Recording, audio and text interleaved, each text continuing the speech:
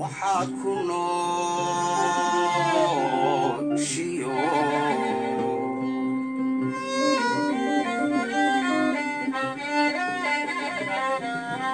Wayahaagu waan jeclaa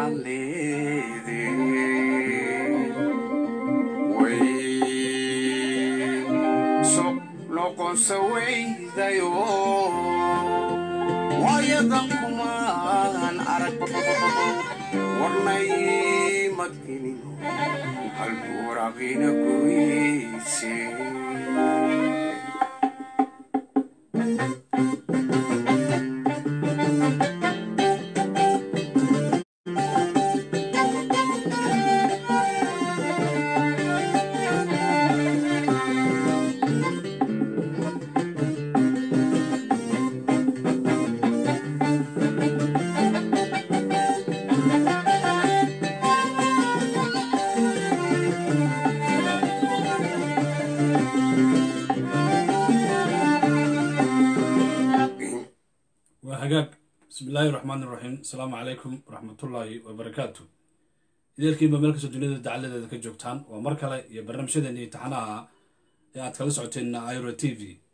Waa barnaamijkeennii taxanaha ee noogu macdarnay sooyaal iyo sinji oo aanu maanta daafuri doono qeybta labayo tobnaad.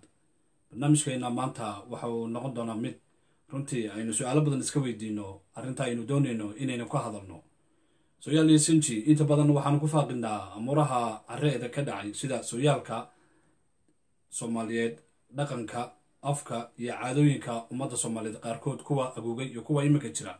Waxaa kaloonu ku faaqinaa nasabka ama duriyadaha bulshada soomaaliyeed iyo dhalashadooda halkay ku soo unkumeen ama halka ay inta badan ku noolaayeen. Gulufyada colaadeed ee la hollin waayey iyo guulihii ay ummadda soomaaliyeed soo hoyeen ayaan sidoo kale aynu ku soo qaadanaa barnaamijkeena maanta run ahaantii sooyaal iyo sinji qaybteenna waxaan noogu magac darnay awoowayaasha soomaaliyeed qaybo ka mid ah oo ku aasan gobollada waqooyi bari nugaal iyo sanaag.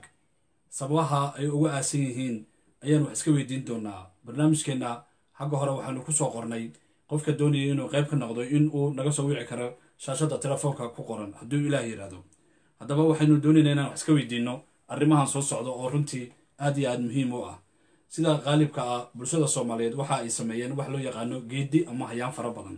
Waxaa jira dhul aan noogu magac darnay dagal doorsoonka saddexda deegaan. Dhulkaasi waxaa ka mid ah dhulkii eebayaasha ama dhulkii ilaahyada ama dhulka loo yaqaan the land of origin oo maanta loo yaqaano puntland. Waxaa kaloo ina kaga hadlaynay dagal doorsoonka saddexda deegaan. Dhulweynaha loo yaqaano gabal oo ah dhulka maanta loo yaqaano soomaali galbeed.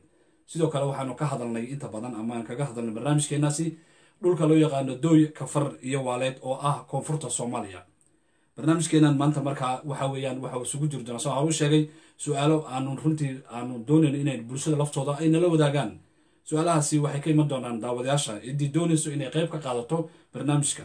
Waxaanu sameynay haddaynu nahay bahda iro t v gaar ahaan macadka care edeg cilmi baaris ku salaysan arrintan soo socoto dadka soomaaliyeed sida ay intii ay jireen waxay soo mareen colaado fara badan oo lagu riiqmay. Waxay lahaayeen goor walba cadow aanan libiqsan oo mar walba ku taagan ama lidku ahaa. Waxay ahaayeen dad dhiila u joog ah oo dhiiladoodu goor walba ay sanadba sanad u dhiibaysay ama sabanba iyo qarnimo oo qarabni u tabinayay. Ilaa maalinka maantaana dhiilooyinkii ummadda soomaaliyeed waa kuba la holin la'yaho oo soo taagan. Haddaba haldoorada ama halyeeyada ama raggii martabada dheeraa ku lahaa bulshada soomaaliyeed waxaa la samayn jiray waxa loo yaqaano xabaal guuris. Cadowga goor walba wuxuu bartilmaamaysan jiray halyeeyga marka uu nool yahay iyo marka uu dhintaba. Soomaali badan ama halyeeyo badan waxaa la sameeyey in xabaalahooga la raro ama habeenka la raro ama xilli aynu colaadi jirin la raro. Xabaala raristaasi waxay qayb ka ahayd arrimo bili-aadanku guud ahaan uu lahaa taasi oo la doonayo inaan laga daba tegin unuunka ama qofkii geysiga ahaa ee bulshada ama qowmiyadda ama qaranka liminta u soo hooyey haddaba barnaamijkayga aan u gudgalo.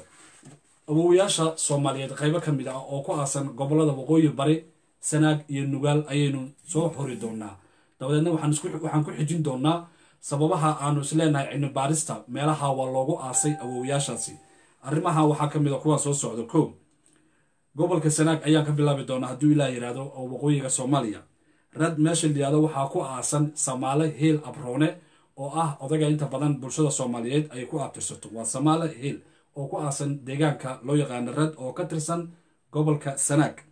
Isla gobolka sanaag deegaanka loo yaqaano haylaan waxaa ku aasan awowa daarood ayaa halkaa ku aasan sababtuu ugu aasan yahay iyada lafteeda waanu dabageli doonaa.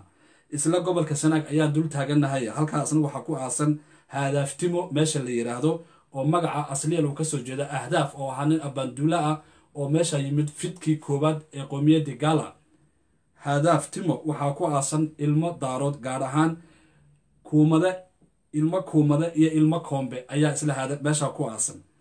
Waxaan u gudageli doonaa gobolka waqooyi bari ee soomaaliya. Bari meesha la yaqaano xaafuun waxaa ku aasan awowgii hawiye ayaa ku aasan.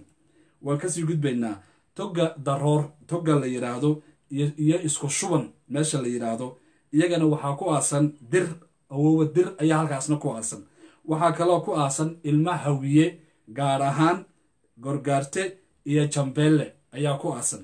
Waxaa kaloo halkaa ku aasan digil ama ilmo awowo digil oo ay kala ah dabare iyo jiido intaa hadda aan soo sheegay xaafuun oo uu ku aasan yahay awowe hawiye toga daroor iyo isku shuban oo ku aasan yahay awow dir ilma hawiye awowa gorgaarte iyo awowa jambeelle ayaa halkaa ku aasan. Danwadaagta digil iyagana halkaa waxaa kaga aasan dabare iyo jiido oo aan maanta ognahay dabare iyo jiido deegaanada ay degan yihiin. Gobolka nugaal ayaanu u gudagelaynaa nugaal waxaa ku aasan sidoo kale gardheere awowa gardheere kow. Waxaa ku aasan xawaadle saddex. Waxaa ku aasan gariire afar. Digil oo haddana danwadaagta aan hore u soo sheegna iyagana halkaa waxaa ku aasan garre iyo tunni. Waxaa kaloo halkaa ku aasan ilma hawiye gaar ahaan karanle iyo gugundhabe. Waxaa kaloo ku aasan awowe ajuuraan ayaa halkaasna ku aasan. Sidoo kale daarood ilmo daarood ama awow daarood carruurtiis waxaa ku aasan mareexaan iyo ogaadeen iyo dhulbaxante. Xasuusnow ilma mareexaan gaar ahaan awsame iyo uurmidig hal buur ayay ku wada aasan yihiin oo gobolkaasi ah waxaa kaloo isla siraa ku aasan oo iyadana ah ka mid ah awowayaashaasi sheekh samaroon sheekh saxaaq iyo sheekh ciise oo ku wada aasan nawaaxiga maydh deegaanka loo yaqaano dibgax. Dadka aan soo sheegay waa qaybo ka mid a awowayaasha ay ku abtirsadaan bulshada soomaaliyeed in badan oo ka mid a waxaa kaloo ku aasan axwaasha ama awowa gurgure. Dad badan oo kale ayaa lai sheegay inay halkaa ku aasan yihiin oo run ahaantii dad badan oo soomaaliyeed oo kale aan ku arkay laakiin erey bixinta halkan ama raadraacani oo uu qoray brofesor maxamed cabdi gandi kun iyo sagaal boqol iyo sagaashankii ayaan iminka tixraac ka soo qaatay. Buugga uu ku qoran yahay taariikhda iyo afka bulshada soomaaliyeed ee uu daawacay brofesor cabdalle cumar mansuur ayaan ka soo guuriyey. Haddaba su'aashay aanan doonayna inaan bulshada u soo bandhigno ama goordha waqadkaan u furi doonno waxay tahay odayaashaasi soomaaliyeed maxaa lagu doortay nugaal iyo sanaag iyo waqooyi bari in lagu aaso? Waxaynu ognahay bulshada soomaaliyeed inay degan yihiin saddex deegaan oo aada u ballaaran oo laga soo bilaabo xadka eritrea ilaa iyo mombasa ilaa iyo meesha loo yaqaano cab gertful ama cirifka shishe ama meesha muuqaal maroodiga la yidhaahdo ay degan yihiin. Cilmi baaris kooban oo aynu wadno oo qabyo ah waxay noo soo baxday afar qaybood oo aan is leenahay waa suurtagal in halkaa loogu aasay awowayaashaasi afartaa qaybood waxa ay kaliyihiin kow. Waxaanu aaminsannahay dadkaasi inay ahaayeen dad dhaliyo wadaag ah oo wada dhashay oo wax badan uu ka dhexeeyo. Sababtoo ah waxaynu ognahay dadka hormuur haldoorka ah ama dadka duubka garaadada malaaqyada islowga ugaaska garaadka nooca dadka ugu yeedh ama dadka bulshada muctarimka u ah ee sida abbaanduulayaasha haliyeeyada geesiyaasha abbaanwarayaasha baxdowga buuniga dadkaasoo dhan ee bulshada indhaha u ah waxaa mar walba lagu aasaa meelo gooni ah. Dadkaasi waa dad istilmaamsado u yidhaahda hebel geesi hebel. Buurta lagu aasay anna markii aad jashada timaado waa in lagu aaso. Hadduu shiikh yahay ama dee nin laga loox jiito uu yahay oo yacni buuni oo cilmiga aada u yaqaan sidoo kale wuxuu raadsadaa asxaabtiisa ama saaxiibadii ama macallinkii asaga waxbaray meeshii lagu aasay in asagana lagula aaso. Marka waxaan aaminsannahay qaybahan aan cilmibaarista ku samaynay dadka inay ahaayeen dad wada dhashay. Sida maanta bulshada soomaaliya ay isu cunayso oo ay isu bixin laadahay oo ay isu diirsoocaysa maahane inay ahaayeen dad wada dhashay oo wax badan wadaaga oo dhaliyo wadaag ah oo arrimo badan oo aynu gadaal ka xusi doonno ayay wadaagayeen. Qodobka labaad oo aan isleenahay dadkaasi waa loogu aasay deegaanadaasi waxaa ka mid a qodobkan ah dhinaca amniga hogaamiyayaasha saan hor u sheegnay dalalka ama qaruumaha hogaamiya ama bulshooyinka hogaamiya waxaa mar walba lala eegtaa ama lagu aasaa meelo amni ah oo ay ka jiraan awoodo difaaci kara dadka meytida ah ee meesha lagu aasay. Waayo dadyoogii hore ee dunida ama soomaalidu waxay ka dhiidhihi jireen qofka halyeyga isagoo nool in dhib soo gaaro. Marka uu geeriyoodana waxaa sidoo kale yacni lagu yatu'i jiray ama la diidi jiray meytidaasi ama halyeygaasi in uu cadowga intuu yimaado uu ku wiirsado uu xabaasha ka soo saaro ayaa iyadana la ilaalin jiray. Marka meel ku habboon oo amni ah oo ciidamo joogaan oo istaraatiijiye iyo qaab dagaal oo aan lagu soo geli karin leh ayaa loo doorbiday in dadkaasi lagu aaso. Ayaanu aaminsannahay qodobka labaad. Waayo cadowgu waxaanu aragnay cadowga oo u badnaa abasiniyiinta oo kaashanaya nimankii reer galbeedka ama reer bariga ee berigaasi bulshada soomaaliyeed lidka ku ahaa.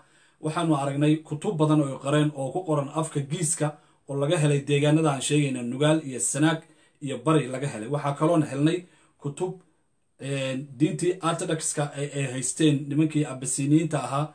Kutub berigaa la qoray oo ay ku qornaayeen magac badan iyo raggii iyaga markaa hogaamiyaashooda ahaa. Taasi waxay ku tusinaysaa inay isku dayi jireen in ay raadraad ku raadraac ama raad dib u raac ku sameeyaan awoowayaashaasi iyo halkii lagu aasay. Waa waxyaabo referenson hayno oo mar kale aan soo bandhigi doono. Qodobka saddexaad oo aan isleenahay dadka waa loogu aasay dhulkaasi. Waxa weeyaan xagga geshiga.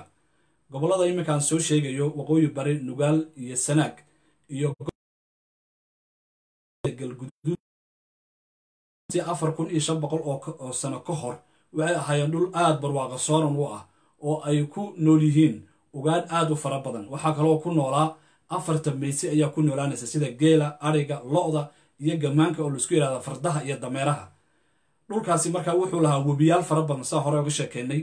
Wuxuu lahaa dooxooyin aangure iyo durduro wuxuu ahaa dhul marka geshi geshiga waxaa la yidhahdaa waxyaabaha maam helo gesiinka waxyaabaha laga tuujiyo dufanka xoolaha amaba yacni geshiga waxaa kaloo la yidhaahdaa dalaga beeraha ka soo go-a sida ama wax waliba oo nutrition ah oo qofka bili-aadanka ah waxtar u leh waxaa kaloo aaminsana dhulkaasi sababta lagu doortay inay ahayd dhul geshi leh oo lagu baxnaaninayay markay odayaashaasi ama geesiyaashaasi ay gaboobaan oo ay gabaxda noqdaan dhulkii lagu jelayay ee looga helayey gasiin ay quutaan ama jal ay dhul looga helayey oo sheegnay fardihii oo gamaankii iyo dameerihii oo lagu qaadayey gurgurshaha geela ama hayinka oo sidoo kale la saarayay ariga iyo lo-da oo iyagana dhulkaasi ku fiicnaa.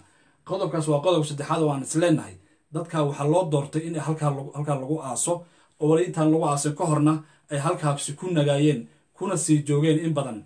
Qodobka afaraad oo aan isleenahay dadyoogaasi aan soo sheegnay ama awoowayaashaasi soomaaliyeed oo inta badan qaybo ka mid a bulshada soomaaliyeed ku abtirsato waxa weeye baan isleenahay waxay lahaayeen xidhiir joogto ah oo diblomaasiyadeed oo ku xiran wixii ka baxsan dalka soomaaliyeed ama dalka dibaddiisa.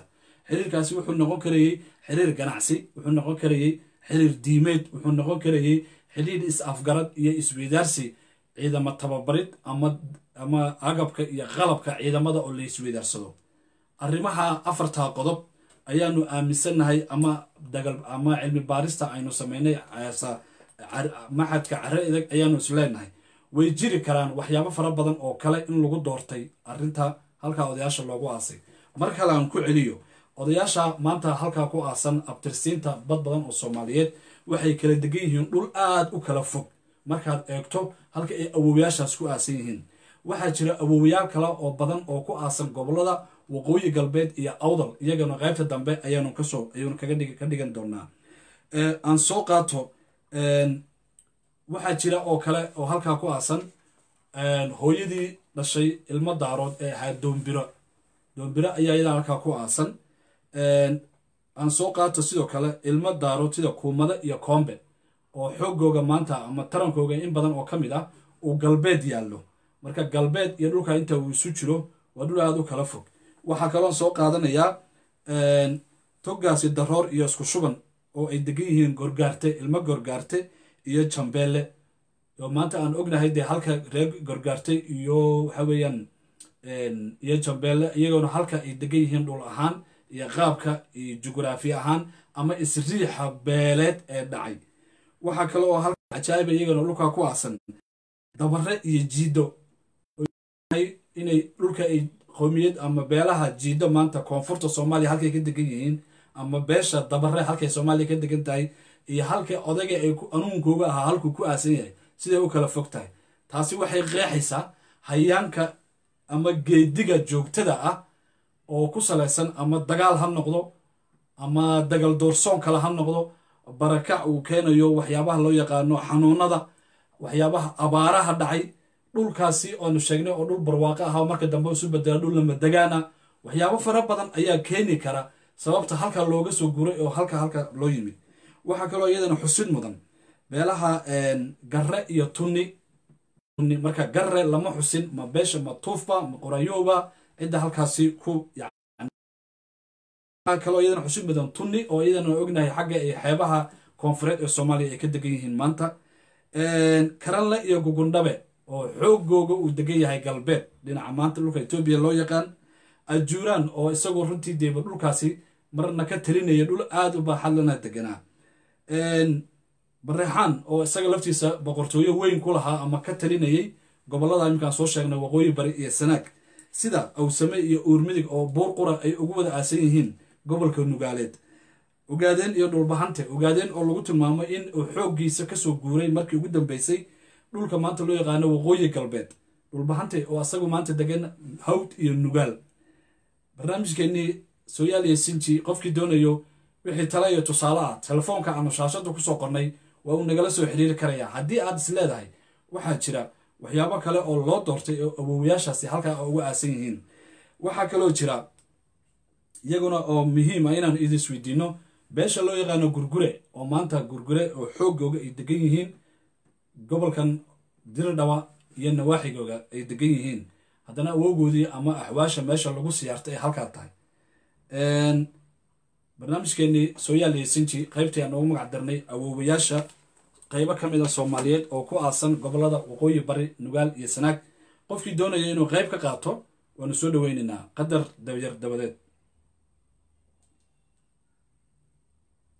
Kastoo warkaaguba wabay dhadhaadhiyo war ma kaaga daran yahay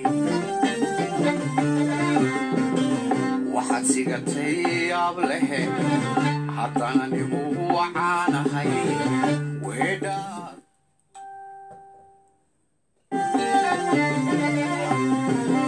inkastoo warkayguba wabay qadhaadhiyo war ma daran yahay waxaad sigatay yaab leh haddana nigu wacaanahay weedhaada kamaatido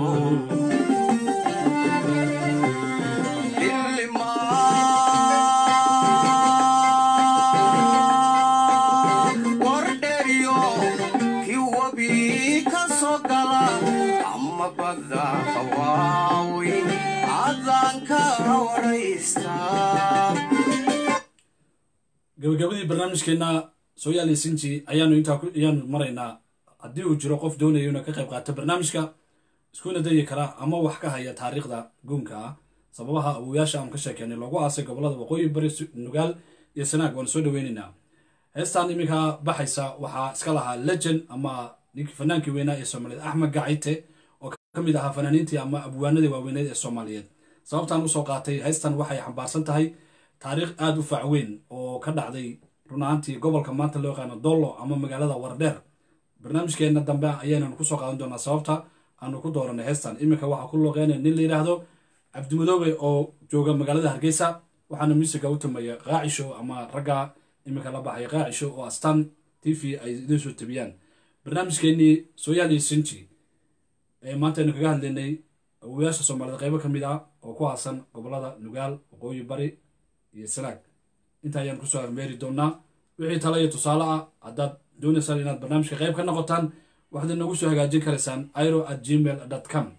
Heestan inta yara dambe ayaanu idinla wadaagayaa. Barnaamijkeenana inta ayaanu ku soo afmeeri doonaa